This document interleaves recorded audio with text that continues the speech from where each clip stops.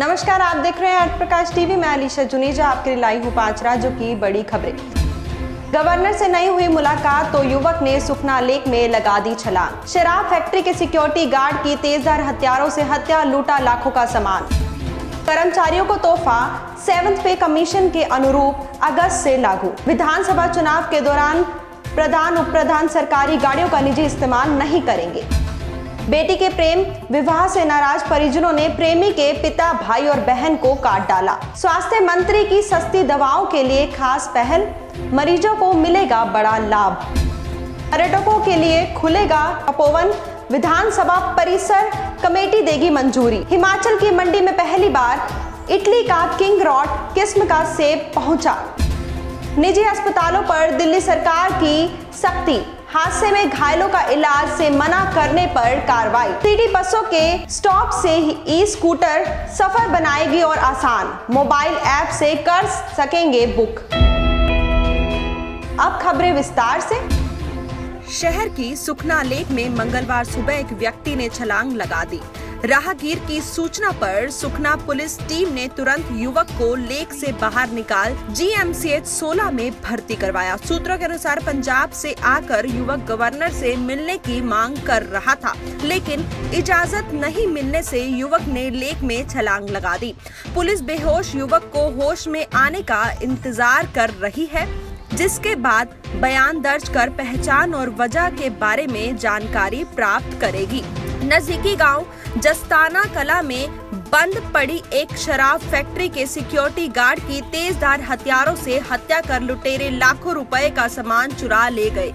मृतक की शिनाख्त उनतीस वर्षीय विजय प्रजापत पुत्र शिवानंदन प्रजापत वासी गाँव समरा जिला औरंगाबाद, बिहार के रूप में हुई है, जो बतौर सिक्योरिटी गार्ड फैक्ट्री में ही रहता था। पुलिस ने अज्ञात लुटेरों के खिलाफ लूट के इरादे से कत्ल का केस दर्ज किया है।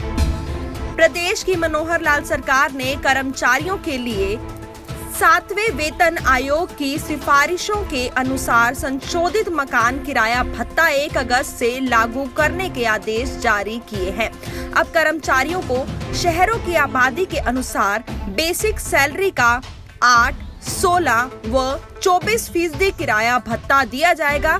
इस संशोधन से कर्मचारियों व अधिकारियों को करीब एक हज़ार एक सौ नब्बे रूपए ऐसी लेकर छह हज़ार रूपए तक का फ़ायदा होगा। हरियाणा में आगामी महीनों में शुरू होने जा रहे विधानसभा चुनावों के दौरान बोर्ड निगमों, स्थानीय निकायों और विभिन्न सरकारी संस्थाओं के प्रधान और उप प्रधान सरकारी गाड़ियों का निजी इस्तेमाल नहीं कर सकेंगे। हालाँकि उनको सरकारी कार्यक्रमों व बैठकों में सरकारी वाहन ले जाने की छूट होगी। हरियाणा की मौजूदा विधानसभा का कार्यालय 2 नवंबर को पूरा हो रहा है। राज्य के मुख्य निर्वाचन अधिकारी ने हाल ही में लोकसभा चुनाव के दौरान उठे तमाम विवादों का पटाक्षेप करते हुए आचार संहिता से पहले निर्देश जारी कर दिए हैं।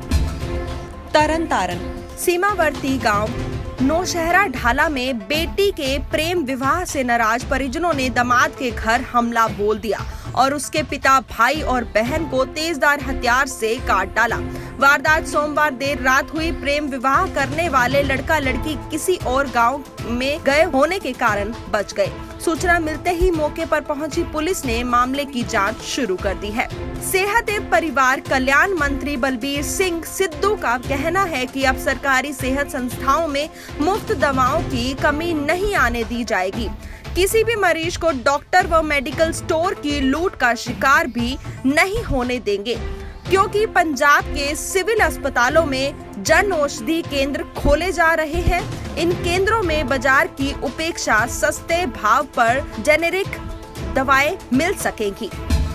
धर्मशाला के तवोपन विधानसभा के पटल पर अब कानूनों, बिलों और प्रस्तावों पर ही चर्चा नहीं होगी, बल्कि अन्य कार्यशालाएँ भी लगेंगी। इसके अलावा पर्यटकों के लिए भी तपोवन विधानसभा परिसर को खोला जाएगा। इसी मॉनसून सत्र में विधानसभा की कमेटी के समक्ष तपोवन परिसर के पर्यटकों के लिए खोलने का प्रस्ताव रखा जाएगा। हिमाचल विधानसभा के सचिव यशपाल शर्मा ने कहा कि धर्मशाला के तपोवन परिसर को पर्यटकों के लिए खोला जाएगा। मानसून सत्र के दौरान विधानसभा की कमेटी इसे सैद्धांतिक मंजूरी देगी। सेब खाने के शौकीनों को अब किंग रॉट का स्वाद चखने को मिलेगा। हिमाचल की मंडी में पहली बार इटली का किंग रॉट किस्म का सेब पहुँचा है। इस सेब का जहाँ स्वाद लाजवाब है, वहीं इसकी कीमत भी काफ़ी अधिक है।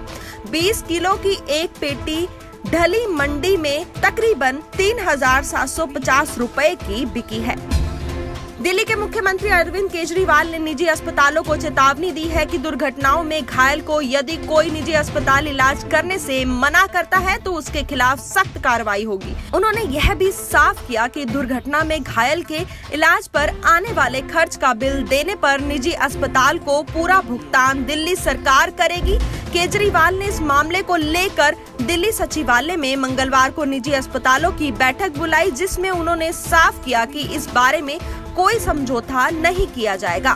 दिल्ली में मेट्रोपॉलिटन सिटी बस लिमिटेड की सिटी बसों के स्टॉप पर अब इलेक्ट्रॉनिक स्कूटर की सुविधा भी मिलेगी। अगर आप सिटी बस से सफ़र कर रहे हैं और आगे भी शहर में कहीं जाना है तो इसके लिए ऑटो या अन्य कैब लेने की ज़रूरत नहीं होगी। कुछ चुनिंदा बस स्टॉप पर ई स्कूटर खड़े किए जाएँगे। इन ई स्कूटर को मोबाइल ऐप के ज़रिए बुक कराया जा सकेगा।